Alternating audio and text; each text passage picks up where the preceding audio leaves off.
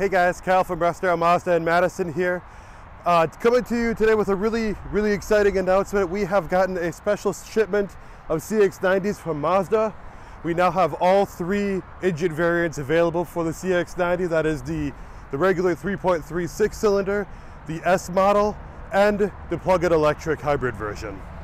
Um, if you are in the market for an Acura, a Lexus, a Volvo, Audi, anything like that, this is a great option for you to consider. This is going to be a strong contender in that market. Everyone here is really excited to show them off. So please stop on by, give us a chance to. We really think you'll like what you see.